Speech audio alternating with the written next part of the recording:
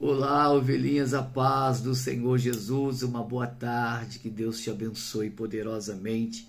Hoje eu tirei a parte do dia para gravar, né? Todas as nossas orações durante o dia, para que fique tudo direitinho e Deus venha abençoar a vida de vocês tremendamente. Nós vamos ler os Salmos 91, tá? E fazer a oração da quebra da maldição. Você crê que Deus quebra maldições? Crê? Então se prepare para orar conosco, porque vai ser muito forte. Nós vamos ler em voz alta, tá? O Salmos 91 em voz alta. É, vai ser tremendo, tremendo. Queridos, só um versículo eu quero te entregar aqui de uma palavra que Deus me deu, mas antes eu vou pedir para você compartilhar agora essa essa essa oração das 18 horas da quebra da maldição. Copie o link aqui abaixo e manda para as pessoas que você quer abençoar tá? E antes de você sair daqui do vídeo, deixa o like. E é claro, tem que ser membro do canal, né? Se inscreva no canal, ative as notificações e você receberá as orações todos os dias. Amém? Você tem compartilhado os vídeos aqui do canal? Tem? Por favor, continue, tá? Em nome de Jesus. Querido, só um versículo, tá? Deus fala assim para o rei ó. É, Sede fortes e não desfaleça as vossas mãos, porque a tua obra terá recompensa. Sabe o que quer dizer recompensa, meu irmão? Hein, ovelhinha? Recompensa é exatamente aquilo que você está precisando receber da parte de Deus. Você não está orando? Você não está clamando, não está buscando, jejuando? Pois bem, Deus vai recompensar a sua oração Deus vai recompensar o seu jejum. Tudo que você fizer diante de Deus, Deus vai recompensar. Então seja forte, não desista, fica firme, não abaixe a sua guarda, não abaixe as suas mãos, continue lutando que Deus vai te honrar. Diga assim seja. Você recebe? Então se prepare agora para orar junto comigo os Salmos 91 em voz alta, tá bom? Vamos lá? O que habita no esconderijo do Altíssimo e descansa à sombra do Onipotente, diz ao Senhor: Meu refúgio, meu baluarte, Deus meu em quem confio. Pois ele te livrará do laço do passarinheiro e da peste perniciosa. Cobrir-te-á com as suas penas e sob suas asas estarás seguro.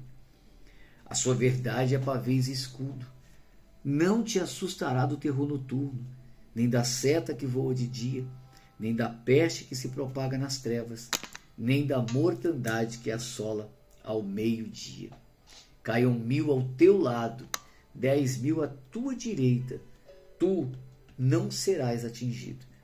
Somente com os teus olhos contemplarás e verás o castigo dos ímpios, pois disseste: O Senhor é o meu refúgio. Fizeste do Altíssimo a tua morada. Nenhum mal te sucederá praga nenhuma chegará à sua casa, porque aos seus anjos dará ordens a teu respeito, para que te guardem todos os teus caminhos. Eles te sustentarão nas suas mãos, para não tropeçares em alguma pedra. Pisarás o leão e a áspide, calcarás aos pés o leãozinho e a serpente, porque a mim se apegou com amor, eu o livrarei. Poloei a salvo, porque conhece o meu nome, ele me invocará eu lhe responderei.